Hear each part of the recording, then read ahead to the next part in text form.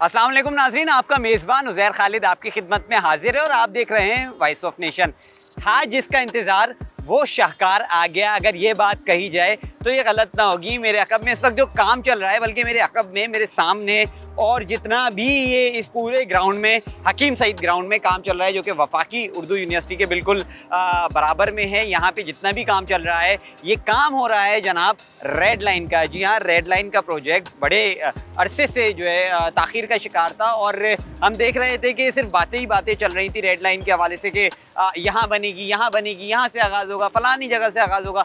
लेकिन अब जो है फाइनली अगर ये आपको दिखाया जाए कि रेड लाइन के कैंप ऑफ़िस का जो है वो इफ्तः या ऐसा कहा जाए कि उसका जो काम जो है वो, उसका आगाज़ जो है वो कर दिया गया है। जैसे ग्रीन लाइन बनी, वफाकी हुकूमत का बड़ा प्रोजेक्ट था।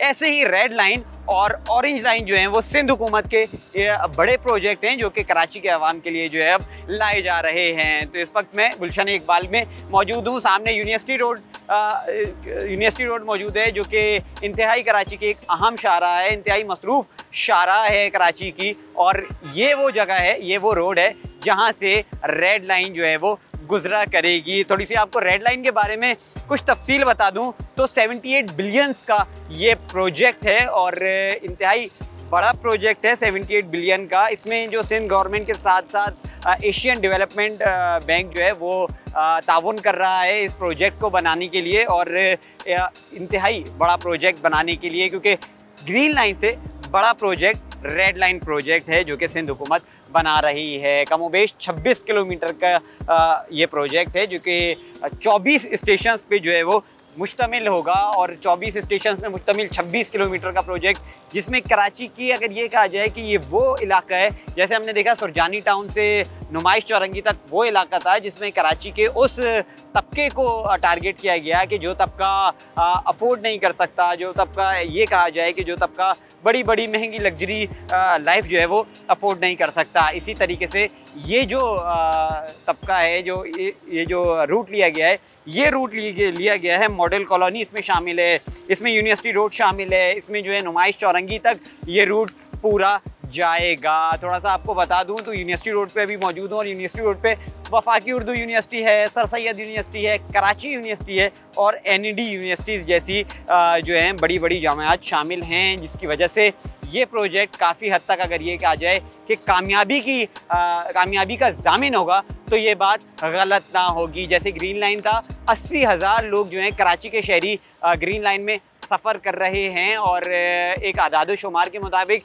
जिस दिन संडे के दिन कराची में अमूमन छुट्टी होती है, लेकिन पचास हज़ार लोगों का जो है वो फिगर आया था कि ग्रीन लाइन में संडे के दिन पचास हज़ार लोगों ने जो है वो सफ़र किया। इसी तरीके से रेड लाइन है और ये रेड लाइन जो है, ये जितना भी इलाका मैंने आपको बताया है, ये सपूरा चौरंगी से होता हुआ, ये पूरी यूनिवर्सिटी रोड, उसके बाद नुमाइश और मॉडल कॉलोनी से शुरू होता हुआ ये प्रोजेक्ट। तो इसमें जितनी भी ये, इसका इतना रूट है, जितना भी ये बड़ा प्रोजेक्ट बन रहा है, इसमें कराची के आवाम का बहुत बड़ा जो है वो फ़ायदा होगा। अब मैं आपको ये बताऊँ कि जब ग्रीन लाइन आ रही थी तो 80 बसों का बेड़ा आ रहा है। हम बड़े, हमने उसके बारे में बातगश सुनी थी। बड़ी मीडिया में उसके बारे में बातें सुनी थी कि 80 बसों का बेड़ा आ रहा है और कराची के आवाम को एक इंतहाई जदीद, इंतहाई अच्छी, इंतहाई मॉडर्न सहूलत जो है वो फराम कर देगा। इसी तरीके से रेड लाइन का आपको बताऊँ तो रेड लाइन में दो सौ तेरह बसेस का जो है वो बेड़ा आएगा। दो सौ तेरह बसेस और चौबीस स्टेशन 26 किलोमीटर इंतहाई बड़ा प्रोजेक्ट थर्ड जनरेशन बसेज होंगी ये.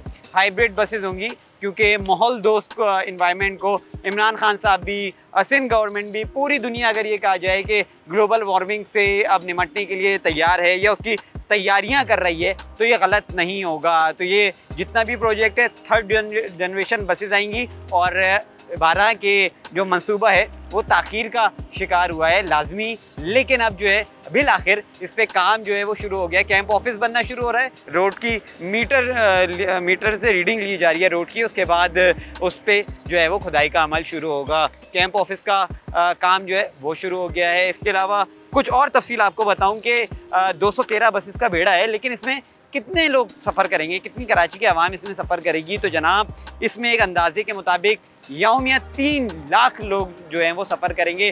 तीन, साढ़े तीन करोड़ का शहर कराची, जिसका ये रूट इंतहाई अहम रूट इंतहाई ऐसा कहा जाए कि मसरूफ़ रूट है। इसमें तीन लाख लोग जब कराची के अवाम सफ़र करेगा। हम देखते हैं कि कराची में ट्रांसपोर्ट का कोई निज़ाम नहीं है।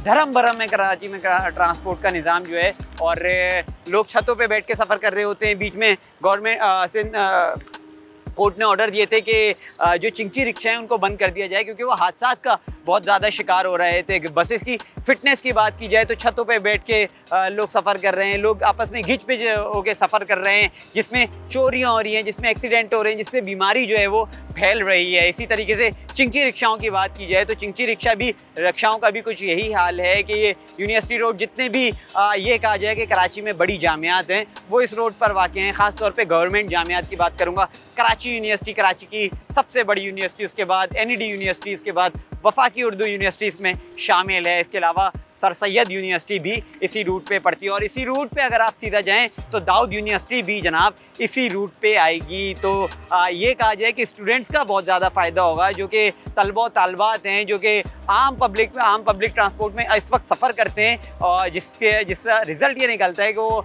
टाइम पे नहीं पहुँच पहुँच पाते जिसका रिज़ल्ट ये निकलता है कि उनका हुलिया बिगड़ जाता है घर से यूनिवर्सिटी तक। पहुँचने के लिए। तो ये जो अब रेड लाइन बस आ रही है, ये आपके लिए आ रही है, ये हमारे लिए आ रही है, कराची के आवाम के लिए आ रही है। और सिंध हुकूमत का एक ऐसा इकदाम है। पिछहत्तर मिलियन रुपए जो हैं वो सिंध गवर्नमेंट इसमें कंट्रीब्यूट कर रही है। इसके अलावा दीगर इंटरनेशनल इदारे जो हैं वो इसमें कंट्रीब्यूट कर रहे हैं इस प्रोजेक्ट को कामयाब तर बनाने के लिए। अब ज़िम्मेदारी हमारी है कि जब ये प्रोजेक्ट शुरू हो जाए उसकी हिफाजत करना, इसकी सफ़ाई सुथराई का ख्याल रखना कराची में रहने वालों की ज़िम्मेदारी। उम्मीद करते हैं कि ये प्रोजेक्ट जल्द अज जल्द शुरू होगा, जैसे कि इस पर काम शुरू हो गया है ऑन फ़ील्ड इसी तरीके से। ये प्रोजेक्ट जल्द अज जल्द शुरू होगा, इस पर जो बसेज आएँगी, वो जल्द अज जल्द आएँगी ताकि कराची के आवाम जो हैं वो मुस्तफ़ हो सकें। इसी के साथ अपने मेज़बान उज़ैर खालिद को इजाज़त दीजिए। अल्लाह हाफिज़।